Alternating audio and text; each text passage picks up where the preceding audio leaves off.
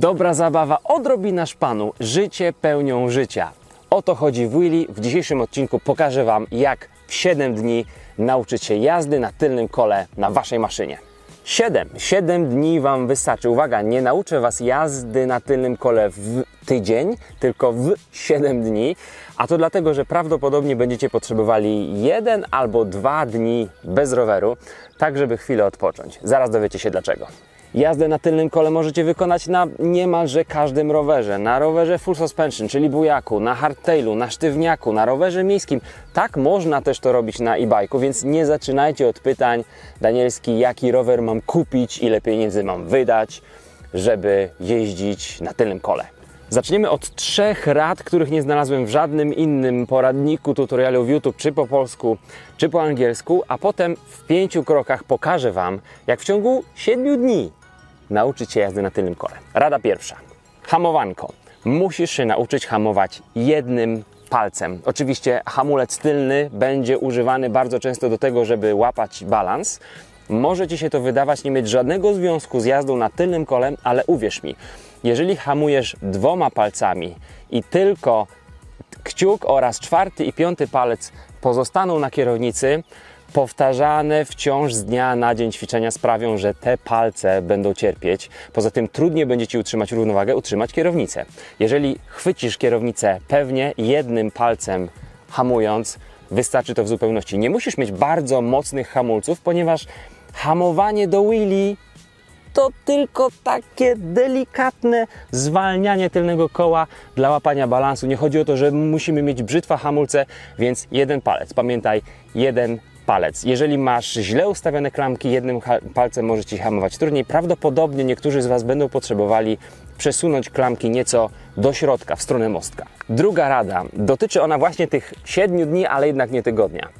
E, jeździmy tak często, jak tylko macie czas i tak intensywnie, na ile pozwoli Wam Wasz organizm. Czyli jeżeli poczujecie, że zaczynają Wam drżeć nogi, drżeć ramiona, to będzie męczące, robicie sobie wolne i dobrze będzie może po dwóch dniach zrobić dzień wolnego, po kolejnych e, dwóch dniach zrobić dzień wolnego, dlatego że do Willy trzeba podejść zawsze na świeżo, ale będzie to dla Was bardzo łatwe do zauważenia, kiedy zobaczycie regres, czyli kiedy zacznie Wam wychodzić Willy gorzej niż, niż pół godziny temu albo niż dzień temu, oznacza to, że potrzebujecie przerwy i to jest bardzo ważne w nauczeniu się Willy. Niektórzy myślą, że mają regres, a chodzi tylko o to, że ich mięśnie, które stabilizują nasz, nasze ciało w odpowiedniej pozycji na Willy są po prostu zmęczone, bo nie przyzwyczajone do takiej pozycji. Pamiętajcie, jeden, dwa, może trzy dni wolnego w ciągu siedmiu dni, dni nauki bardzo przyspieszy Wasze postępy. Rada trzecia. Na czym się skupiać podczas sterowania rowerem? Czy na kręceniu kierownicą? Przecież kierownica i koło będzie w powietrzu. Czy na ruchach y, kolan na boki? Y, nasze nogi będą na pedałach, ale kolanami możemy balansować. I kierownica, i kolana są ważne, ale najważniejszy jest balans naszym ciałem, a naszą równowagę przekazujemy rowerowi poprzez naszą miednicę i kości, na których siedzimy, czyli guzy kulszowe. Krótko mówiąc, to czym siedzimy na siodełku, to jest nasz ster. To jest miejsce naszego skupienia się, a nie naszego skupienia się, a nie kierownica.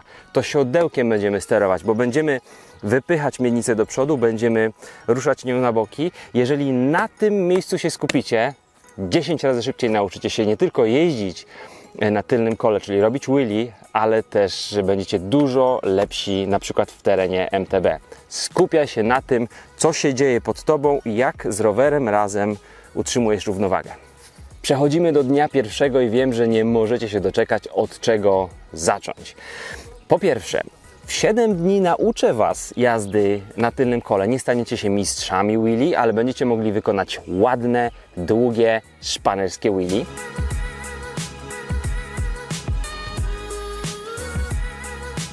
A naukę dnia pierwszego zaczynamy od krok pierwszy wybrania właściwego miejsca.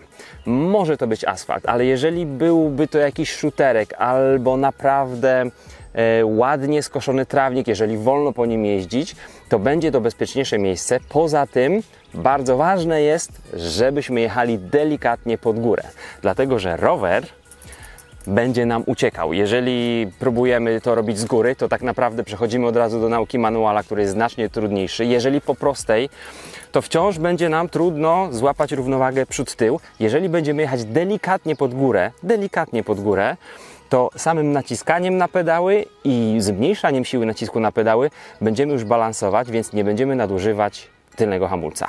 Wciąż dzień pierwszy, rada druga. Nie używaj pedałów zatrzaskowych. Chyba, że jesteś bardzo doświadczony lub doświadczona w używaniu pedałów zatrzaskowych i jeździsz w najcięższym terenie, zdecydowanie jednak rekomenduję Wam zwykłe, najtańsze. Jak kupiliście rower, pewnie były w pudełku jakieś tanie pedały e, platformowe. Takie właśnie zastosujcie. Załóżcie jakieś Adidas, jakieś obuwie sportowe, będzie Wam dużo, dużo łatwiej. Trzecia rada, e, wybór roweru.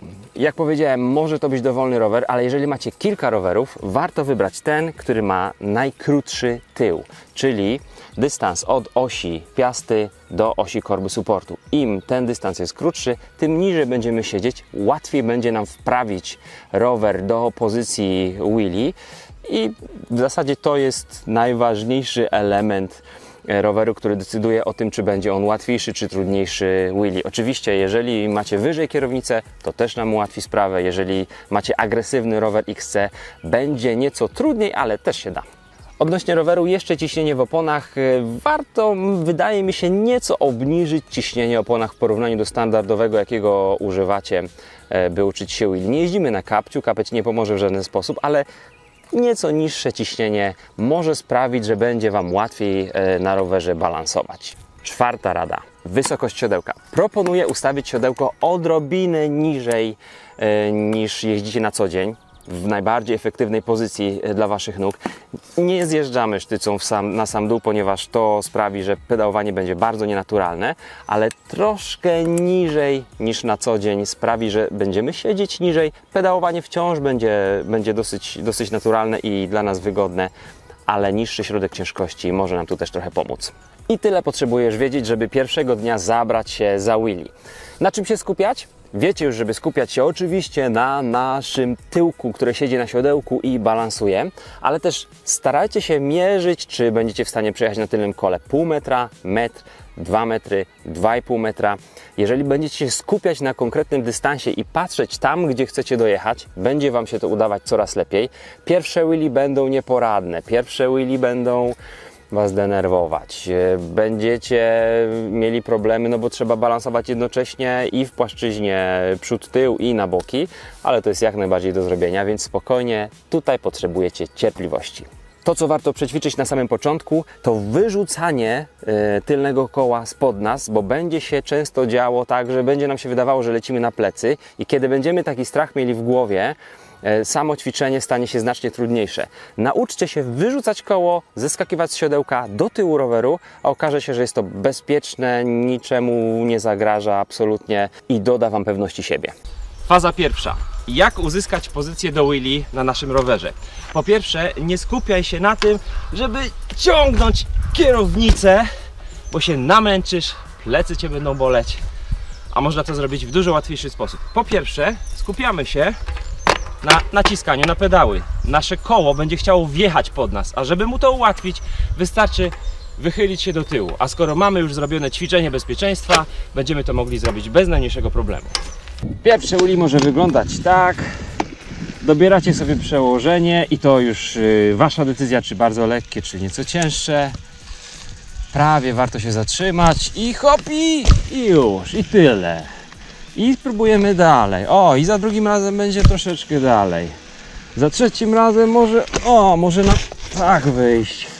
I tak po trochę, po pół metra, a potem okaże się, że robimy 3 metry. Potem się okaże, że robimy 4 metry i łapiemy o co chodzi z całym tym siedzeniem na siodełku i sterowaniem miednicą Jak powinien się zakończyć dzień pierwszy? Przede wszystkim dzień pierwszy powie Wam, jak długo możecie ćwiczyć, bo na pewno po 30 minutach, po 40 minutach, może z jakimiś przerwami, zobaczycie, że zaczyna Wam wychodzić gorzej, albo że bolą Was dłonie, albo ramiona, e, barki i stwierdzicie, że to jest dosyć fizyczne zajęcie uczenie się wheelie, bo faktycznie jest, kiedy nie mamy techniki. Kiedy już mamy technikę, wszystko będzie się działo znacznie bardziej efektywnie. Tyle jeśli chodzi o dzień pierwszy. Faza druga to coś, na czym skupiacie się od drugiego dnia do siódmego dnia.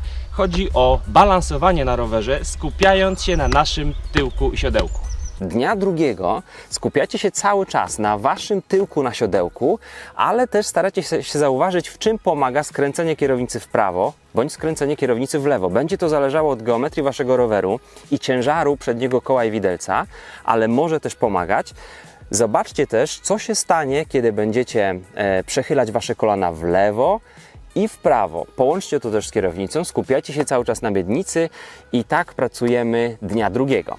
Spokojnie, kilka wdechów. Można sobie nawet przyhamować. I lecimy. Hop. I balans, balans. Najpierw miednica, potem kierownica i kolana. Wszystko razem. Faza trzecia. Zakończenie wheelie.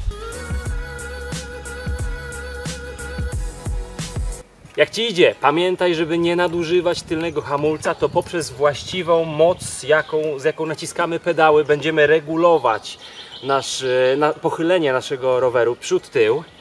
Bawcie się dobrze. Koniec drugiego dnia, wiesz już w zasadzie wszystko. Trzeci, czwarty, piąty, szósty i siódmy dzień wygląda dokładnie tak samo. Pamiętaj, żeby podjąć dobrą decyzję o tym, który dzień wybrać jako na, na dzień wolny. Może po dwóch dniach, a potem po kolejnych dwóch dniach. Do ćwiczeń y, powinniśmy podchodzić na świeżo. Jeżeli nie podchodzimy na świeżo, będzie regres, będzie nas to jeszcze bardziej denerwować, zniechęcimy się i stwierdzimy, że ten tutorial w tych internetach nie ma sensu. Mała rada pro. Jeżeli robisz wheelie, bo chcesz się popisać przed dziewczynami w szkole, a czujesz, że już ci się kończy twój balans, zakończ je wcześniej. Będzie to wyglądało tak, jakbyś chciał je zakończyć.